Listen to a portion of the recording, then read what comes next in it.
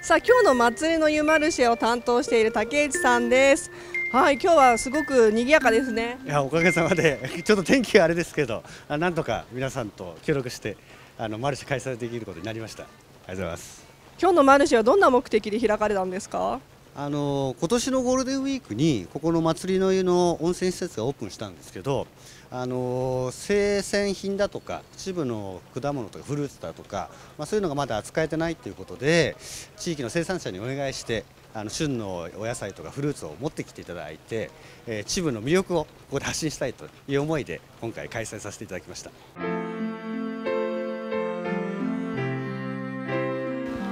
ちょっと秋の味覚ぶどうが販売されてますね。どんなぶどうがあるんですか？そうですね。今はもうこちらに出てるのはみんな種なしのぶどうなんですけどこちらのあの高尾という品種はあの巨峰から作られた品種で巨峰の子供の品種になります。若干とんがってるような感じのぶどうです。甘みはどうなんでしょう？こちらに試食もあります。あ試食しちゃいます？ああ結構ほんとちょっと粒がこんな感じではい、とんがってますね。ちょっといただきましょうか。せっかくなので。結構あのフルーティーな感じで、はい、酸味はあんまりないんですね。そうですね。あとはあのこちらの緑色のパルルという品種が、こちら酸味もしっかりしてるんですけど、あのジャスミンの香りのする香りのしっかりしたブドウになります。ジャスミンですか？はい、パルルもちょっと食べてみましょうか。これパルルだそうです。はい食べてみますね。いただきます。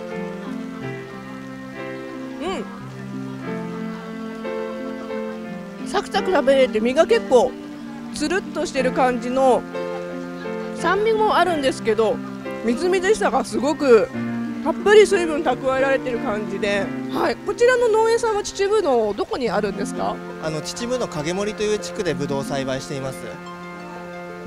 ですね本当に秩父とそして秋の味覚が楽しめるこの祭りの湯マルシェそしてこうやってあの農家さんと触れ合えるっていうところもとっても楽しいですよね。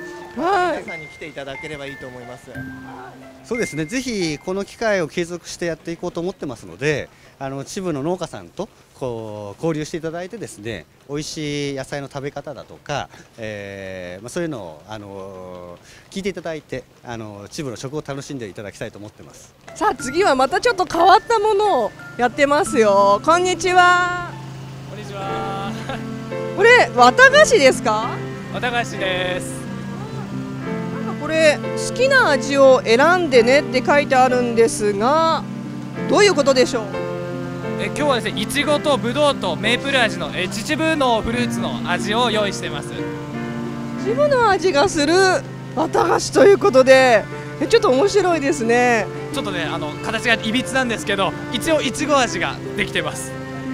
今いちご味作成中だそうです。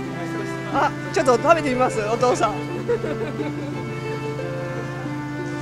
いちごの味するようまいようまい笑顔が見られましたいちごの味がするはいありがとうございますお父さん。モデルになってもらいましたけどじゃあ私もいいですか作ってもらってじゃあ何がいいでしょうメープルでお願いしますそう実は秩父のメープルっていうのは今あの紅葉するこれから紅葉してくると思うん。ですがその葉っぱカエデはみん。なメープルなん。ですよねでそれをこう秩父の人たちが樹液を取って秩父の新商品にしようということでいろいろとやってるんですがここでもメープル味があるんですね。